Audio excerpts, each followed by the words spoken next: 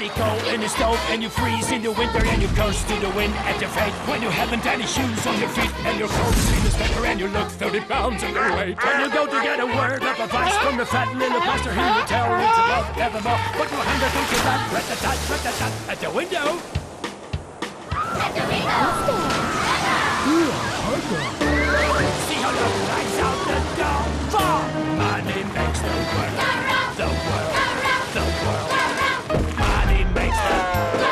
world, clinking, clanking sound of money, money, money, money, money, money, money, money, money, money, money, money, money, money, money, money.